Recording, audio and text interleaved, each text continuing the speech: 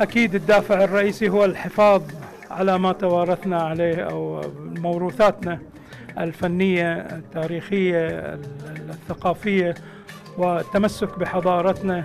يجب الثبات ويجب إخبار العالم أن الموسيقى والآلات الموسيقية الوترية بدأت من عندنا. أنا تركزت على هذه الآلة كونها أول آلة وترية في تاريخ البشرية.